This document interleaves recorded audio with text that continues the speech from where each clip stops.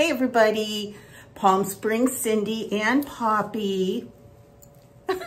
she just, she saw me go on, uh, sit down here at the table, so she knew I was gonna do a video. Poppy, do you wanna say hello? Do you wanna say hello to your followers? Or are you just gonna kiss me? Hmm? So Poppy says hello. Yes, you guys, she is getting bigger. And I still have to give her her DNA test but I haven't because she has to, um, oops, I have to put the swab the inside of her mouth for 30 seconds. And I'm not going to be, I don't think I'm going to be, I don't know how I'm going to do that.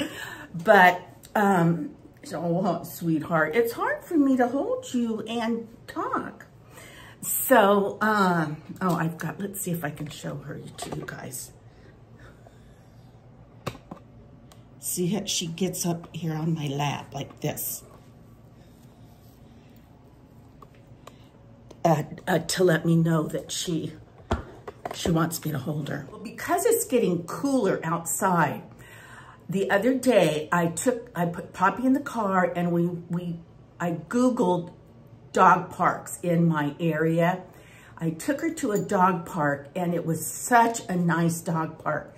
There was one lady with her dog there and my me and Poppy. And the Poppy played with this dog.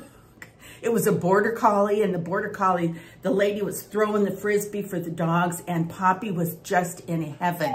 She, listened to her, she ran and ran.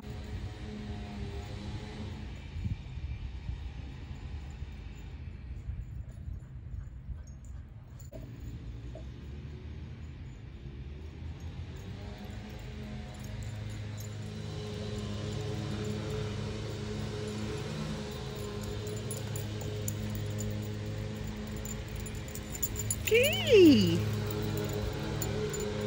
Hi, little skinny girl. Oh, you're all wet. You're having so much fun.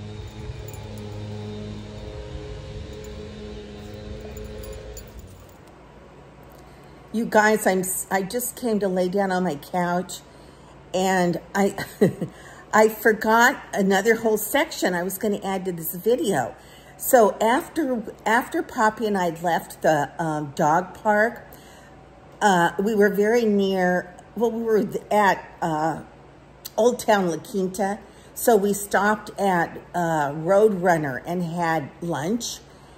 And they actually had a dog menu.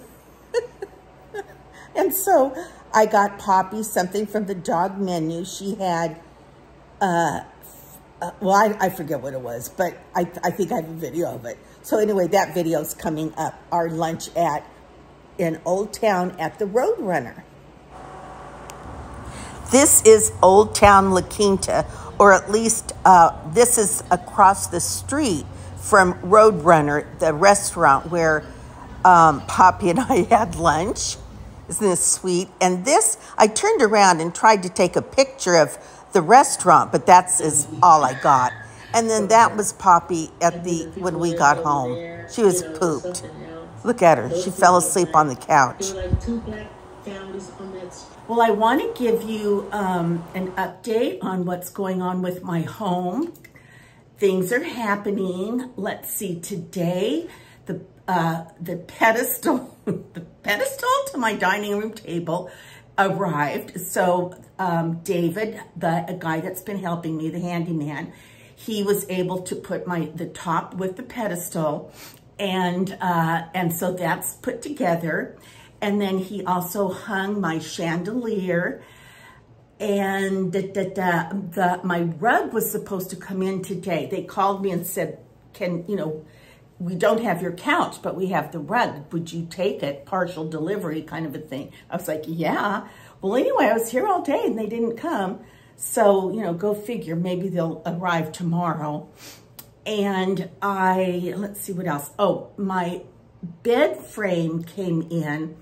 It's still in the box and David was going to put it together, but he, it took him plenty, a long time to do, the, to put the table together and to in order for the chandelier to be centered over my dining room table, we had to, he had to drill another hole in the ceiling and then rewire and then drywall and patch it all up again. So he did all of that today.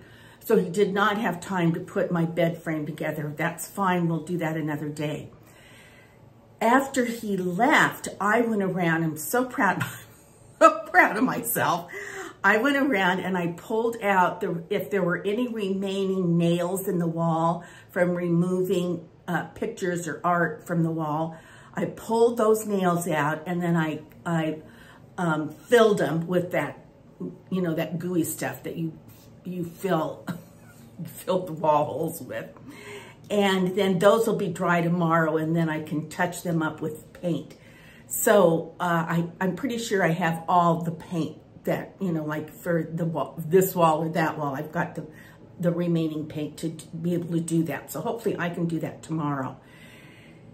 And I'm kind of thinking wishing maybe I can find a friend and we could put my um, bed frame together. I don't know. We'll see. So, all right, sweetie, you get down. So my headboard is supposed to arrive the end of November and the lady from Ethan Allen said that they that they think my couch will be ready like in a week or so, which would, I mean, I, I was told Christmas.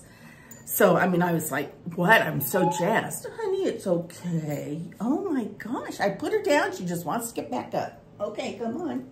So, so anyway, that's sort of the update on my house. I'm not going to show any more pictures because it's just, I'm going to wait till it's, it's finished. Going to wait till it's finished. And let's see, I, okay, you guys, the strangest thing is happening. I'm having a full-on home invasion. I don't know if I told you guys this, but I have pictures of it. I'll see if I can add the pictures to this video. Um, the I'm going to say like maybe a week or so ago, um, I had my patio door all the way open and I was outside on, on my patio it was later in the day, but it was still daylight. And so I, you know, I was enjoying being outside. Don't, you know, I don't know what I was doing, but I came in and there were hundreds of these little black bugs. They look like pepper, like somebody had poured pepper, a little bit bigger than pepper, on my countertops. Now my countertops are white, so the, the black bugs really showed up.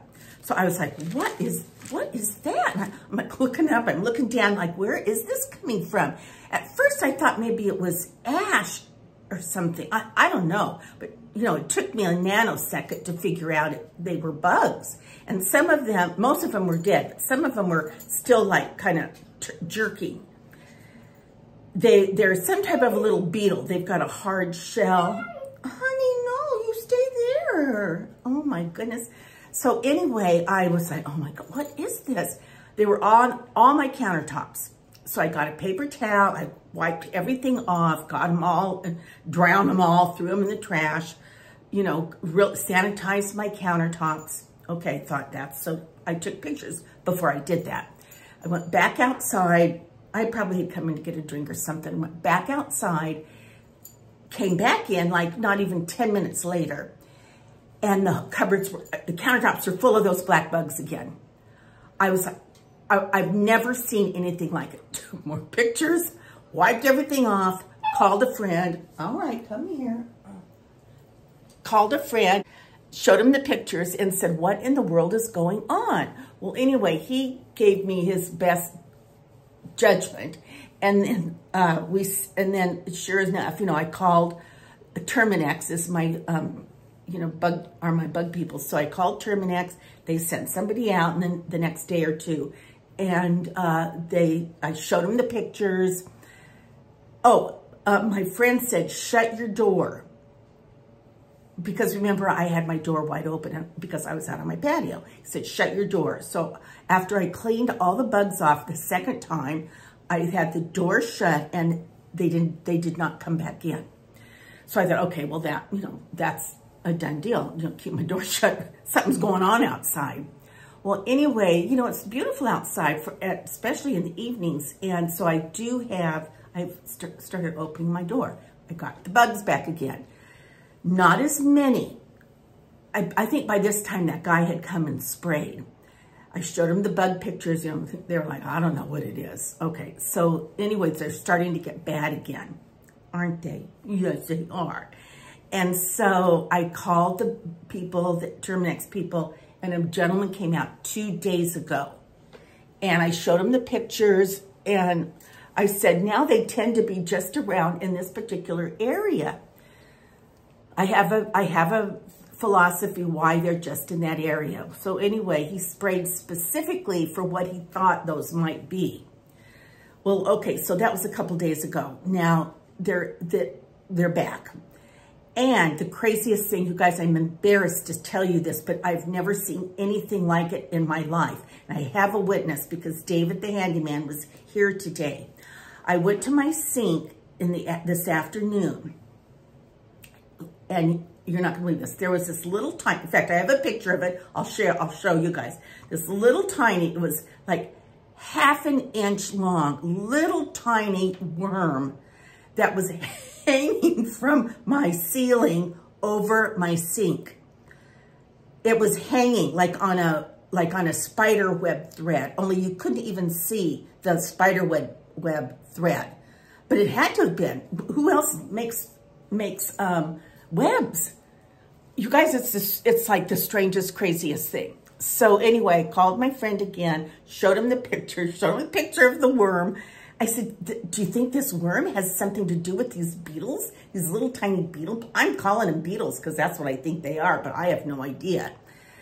And I mean, they're like an ant, but they have a hard shell on them. So he was like, I don't know. But anyway, he said Terminix will be right, will be out there again as soon as they can get there. Actually, he said, give it some time. If he just sprayed a couple days ago, give that some time. He sprayed inside, he sprayed outside.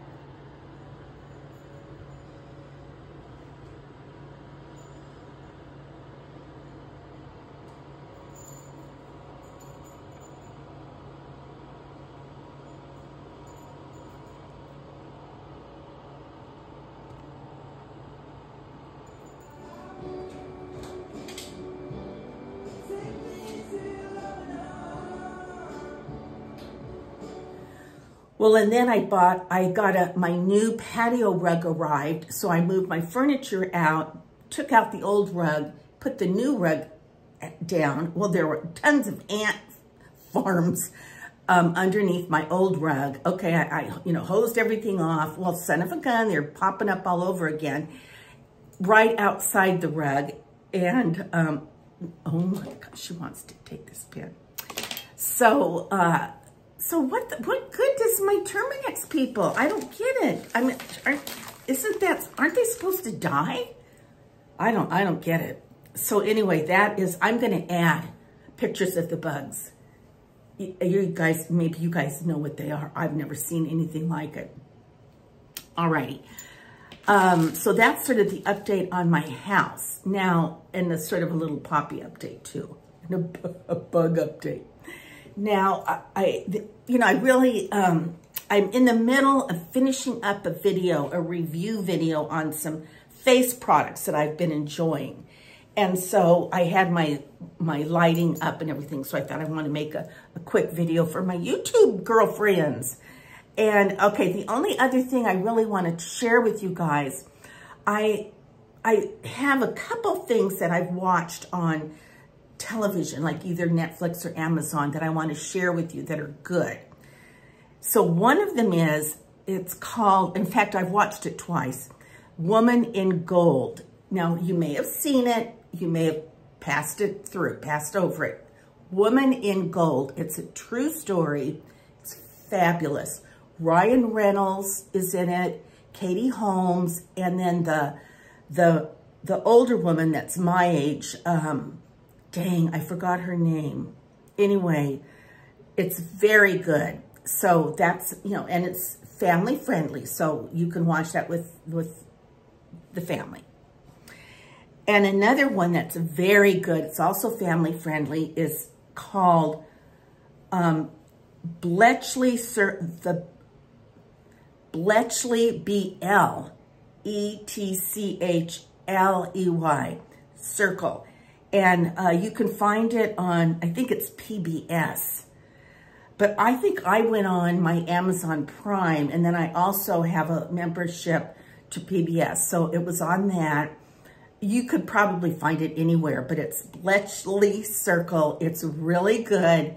It's about women after World War II, a group of women who work, come together and work together uh, to solve a, a situation. So I loved the fashion, the dresses that they wore, their hairstyles, and it takes place in London and the scenery, the background and everything is really good. When I say the background, I mean like, you know, the, where it takes place. It's great to look at the buildings and the cars and all that. So it's, it's very good. And it's a true story. I think it's a true story. Poppy, I have to put you down. Another good show, but have Kleenex ready, is called Beyond the Blackboard. It's family friendly. I think it's a Hallmark movie. It's so good. And I'm, I'm trying to see here if I wrote down where I saw it. I think I found it on YouTube. Um, it, I, I'm pretty sure it is a Hallmark movie. So Beyond the Blackboard, it's so good. You've got to see it. And then one more, it's a mini series. And I watched, I, I just, um, what's it called when you, you know, I power watched it or binge watched it all, I think in one or two days. And it's called, it's, I think it's old and you guys may have seen it, but it's called Backstairs at the White House. It's very good. It is, like I said, it's a mini series. You can find it on YouTube. And it's about this woman who works at the White House and she works there for so many years. She goes through all these presidents. So from our, from our perspective, we get to learn from, from her point of view what the presidents and their wives and families were really like. Because she, she, you know, she doesn't say anything bad or anything, but you, she does share, like in this president, like for example, when um, Eisenhower was president, she said, um, I feel like I'm in the army. and and so anyway, it's very good and it's uh, family, like I said, family friendly. It, it's just, it's excellent. So I hope you guys uh, uh, have the time to to check these movies and miniseries out. You won't be sorry. Okay, you guys, I really, you know, this is just going to be a short video. Speaking of short video, you know, YouTube is all over these YouTube shorts and they keep sending people like me, honey, I know, I know. I'm going to share this. look at her. She's, this is what she does. See, she, and then she talks to me. Yes, she does. Yes, you do. so, um, uh, okay, what was I saying? So YouTube is all over having, they want the uh, people that make videos to make shorts. Well, I, I haven't really, mm, you know, I don't, I have to investigate it. And I, you know, I'm just so comfortable already with what I just do. And, but I'll have to, you know, read about and educate myself because they're really kind of, they're not pushing us, but they want us, they want to be like TikTok. TikTok. And that's all. I think that's all I've got for you. Yes, I love you. Until our next conversation. Bye-bye.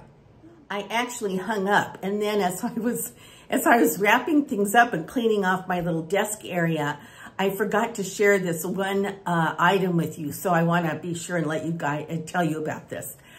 Well, I've shared some uh, shows for you to watch on TV that I've seen and they're excellent.